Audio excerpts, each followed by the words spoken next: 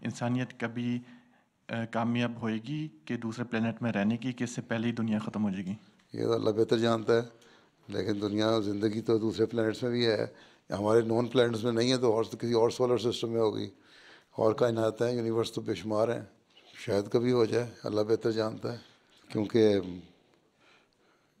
ज़िंदगी होगी, और अगर इंसान पहुँचता है तो अभी तक तो सिर्फ़ बातें ही हैं ना। फिर बाकी लवाजमात भी तो पूरे करने होंगे तुम्हें तुम्हारा जिसम के लिए वहाँ ऑक्सीजन चाहिए जितनी रिक्वायर्ड ऑक्सीजन है वो मौजूद है कि नहीं? तुम्हारा जो ग्रेविटी ग्रेविटी फोर्स कशिश जो है खड़े होने के लिए वो है कि नहीं? आसमान पे चाँद पे जाओ तो घूमते रहो। एक छलांग लगाओ तो तीन मील पता नहीं लगे। जाना तुमने इस कमरे में है। एक कदम उठाया तो चले गए घर से बाहर। वो अल्लाह ताला बेहतर जानता है। और इस जिस्म के साथ इन इस हालात के साथ तो वहाँ नहीं रह सकता इंसान।